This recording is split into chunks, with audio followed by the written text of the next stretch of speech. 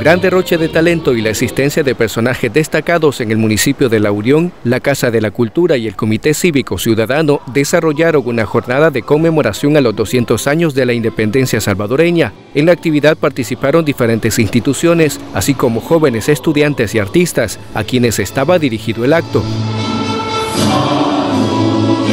No quisimos quedarnos atrás como Casa de la Cultura, eh, pues celebrando este acontecimiento a, nivel centroamericano. Se ha hecho para que la juventud se dé cuenta de que eh, no ha sido fácil, pero ha sido un proceso que se ha llevado en el cual hemos eh, sido independientes y que cada uno de ellos eh, también sepan, ¿verdad?, de que cómo fue toda la trayectoria, ¿verdad?, de, esta historia para cada uno de aquellos jóvenes que quizás este, algunos, pues tal vez en la escuela sí les dicen algo, pero es a rasgo modo pues ahora se está haciendo esta celebración para que los jóvenes eh, tomen importancia de lo que es el Bicentenario.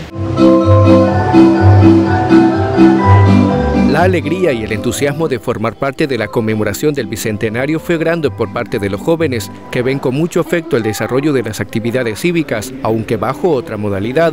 Para mí es algo muy, muy bonito estar ya este, teniendo 200 años de habernos independizado como como una, como una nación propia. Sobre el diseño, ¿a vos te gusta pintar? Nada, pues a mí lo que es la pintura sí me encanta demasiado, pues bueno, Franco me anima bastante a seguir, este es mi profesor, va.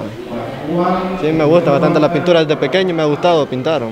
Dios te salve, patria sagrada. Dios te salve, patria sagrada. Es algo muy bonito ya que estamos representando así a nuestro país, a los años de independencia que llevamos transcurriendo. Y pues se siente muy bien.